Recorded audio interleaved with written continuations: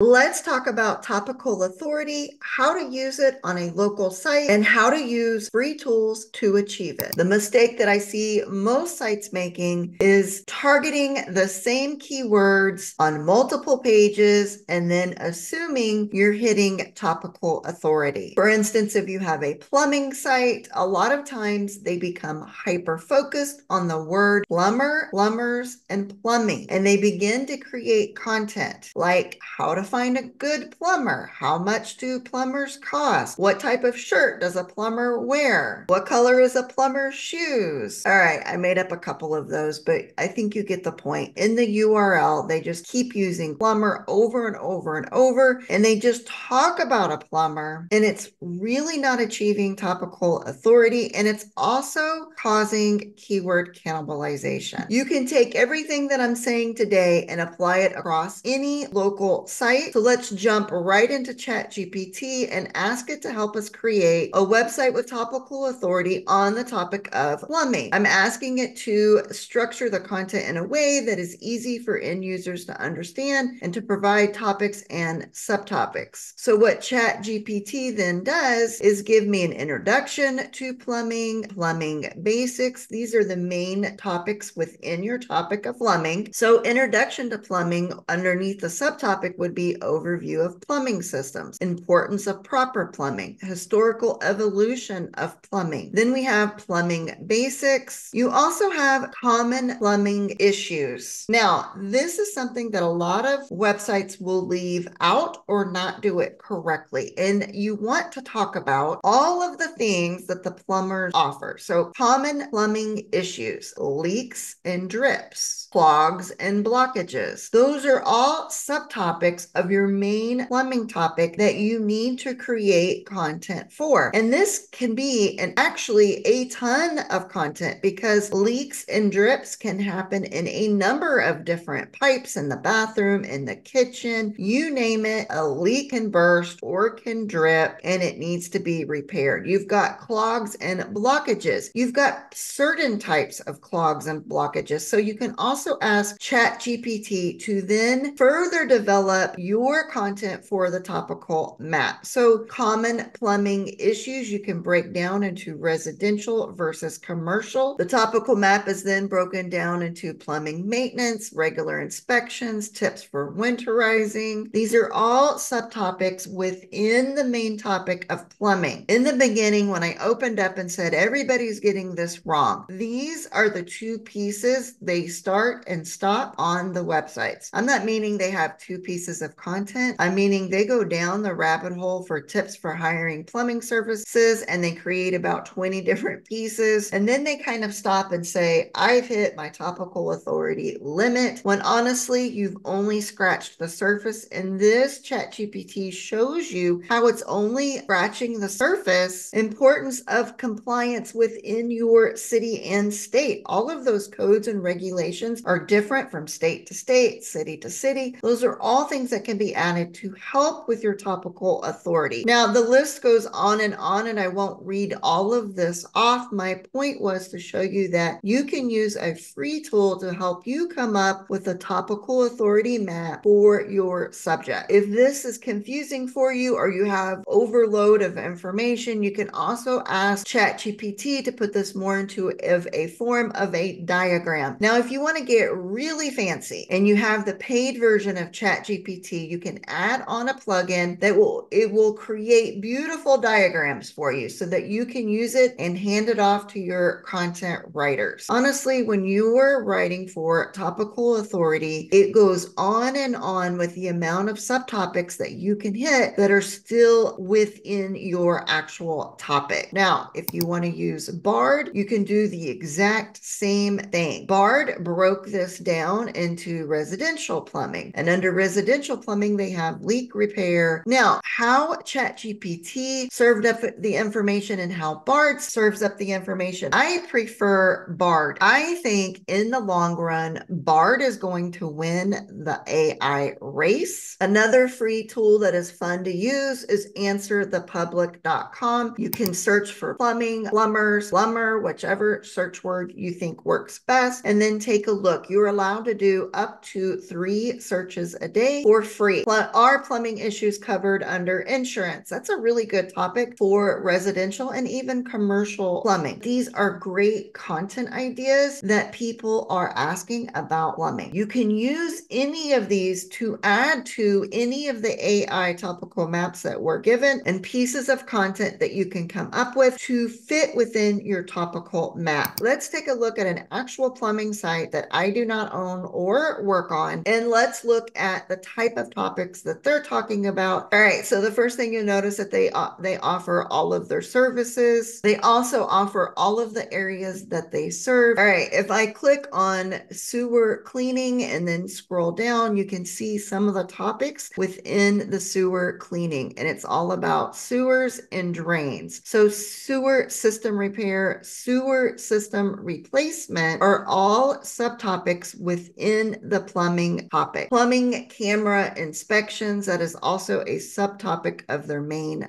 topic. These are all within their actual topic. And it's also services that they offer. If you take a look at their blog, you can see they have water heater maintenance and tips. This is one of their subtopics under water heaters. What is a pressure reducing valve? That is a great subtopic of your main topic under plumbing. Sewer maintenance and repair tips. That is something that ChatGPT and Bard had within their topical map, you can see why they're writing about them and you can see where they were located on the actual topical authority map that was written out for us. They talk about leak repair, and this is what it looks like on the actual site. So you see how we begin to combine the sources of the information we were pulling from all of the great tools and, and add it directly to the website.